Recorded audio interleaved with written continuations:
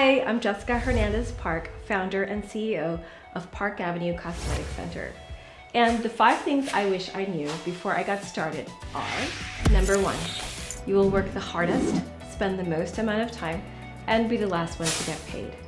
But when you do, your reward will be the highest. Don't be frustrated when you have to pay your landlord, your vendors, your employees, and you're not seeing that cash flow coming in.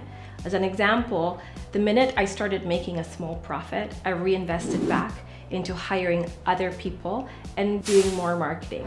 That was the smartest thing that I did. Now I get paid very handsomely.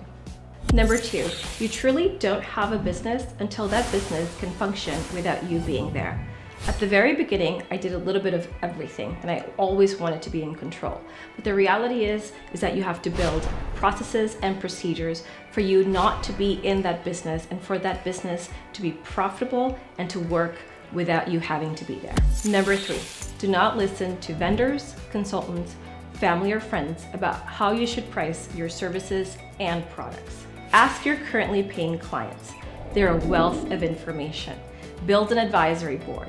They'll tell you what they're willing to pay and what they want. Number four, forget the competition and focus on the customer experience.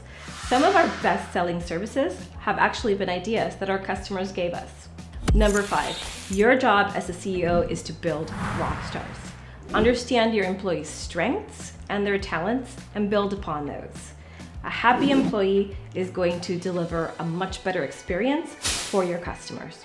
Thank you for listening about my five things I wish I knew before I got started.